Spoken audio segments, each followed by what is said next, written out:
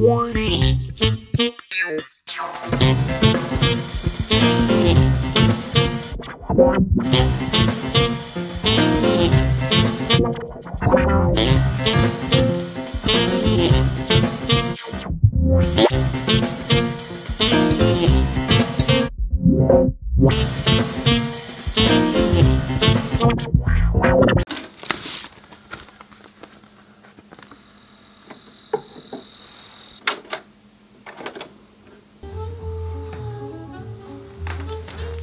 to today's vlog. Bit of Dizzy Gillespie on the French Riviera. That would have been amazing, wouldn't it? Listen to Dizzy Gillespie, as they say on there, as the bikinis, the scooters and the film stars get out of the way. That must have been some gig. Uh, although apparently some of the tracks were actually re-recorded back in a studio in New York, but the track we were listening to there, No More Blues, uh, was recorded live on the French Riviera in 1964?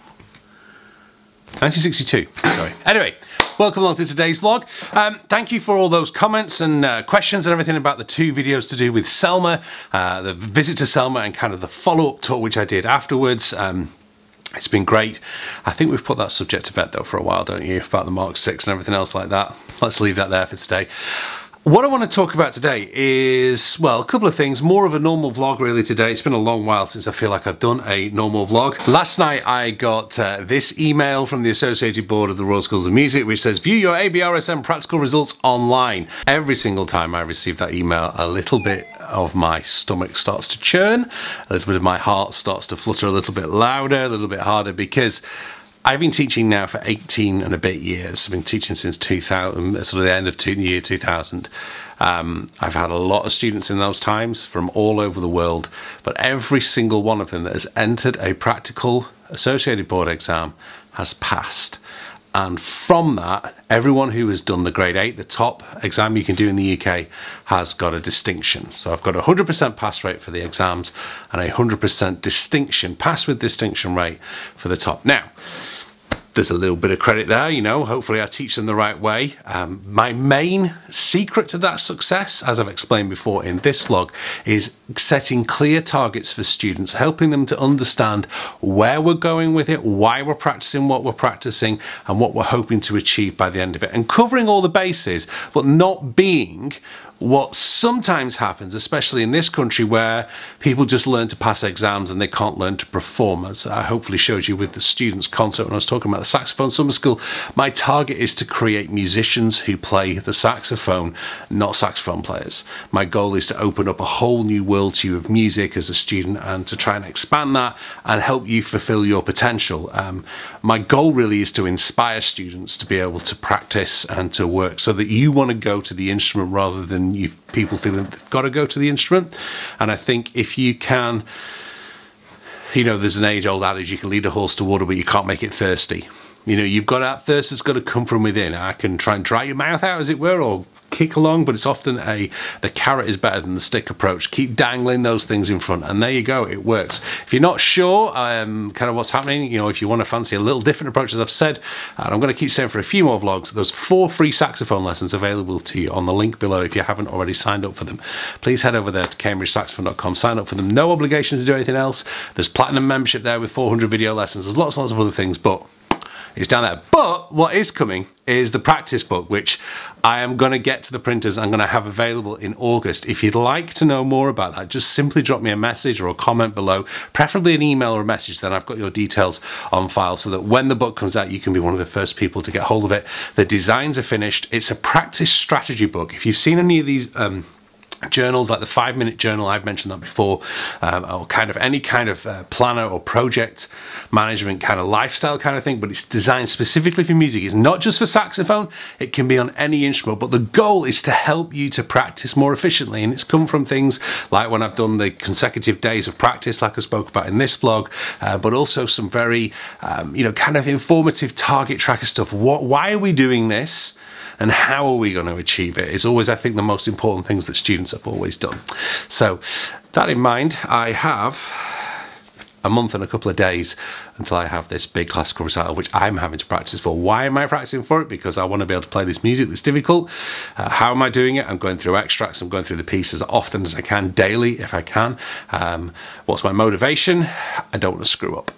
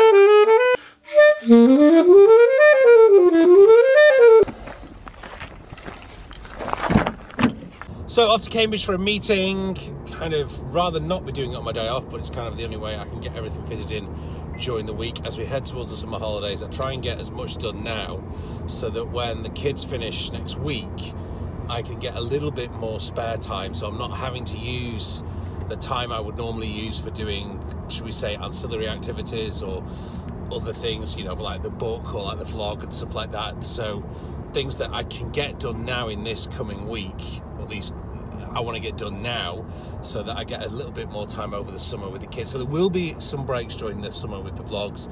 Some days that, you know, might happen, might be able to get them out, but other days, kind of try and keep it, you know, a little bit more family time.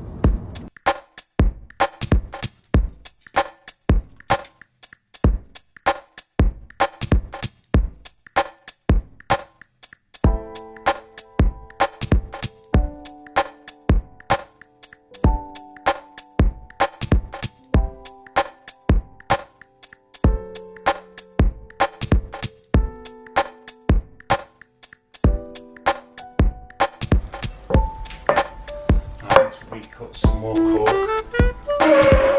Well, you must have had one when you did the castle.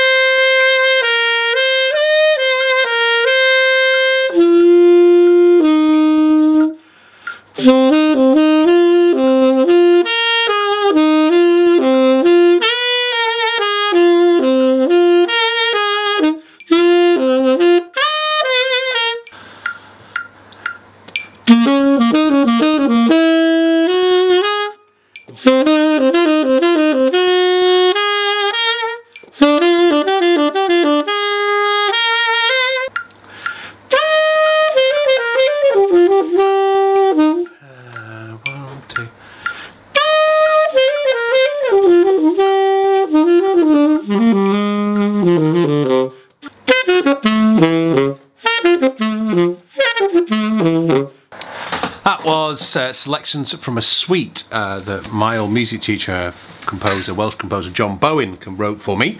Uh, I'm going to be playing it at my classical recital uh, in London. Checking out the mic switched on there. For that I was sorting out the kids' homework. Yet again, it falls on parents to do homework, as it usually is, but uh, anyway, that's by the by. Thank you very much for watching today's vlog. Back to normal. Hope it's okay. Um, probably won't get the views that we got for the other ones. Don't forget to check out uh, my last vlog here. And this is what I was up to uh, this time last year. Don't forget, hit the subscribe button if you don't already. Thank you for joining us. I'll see you really soon.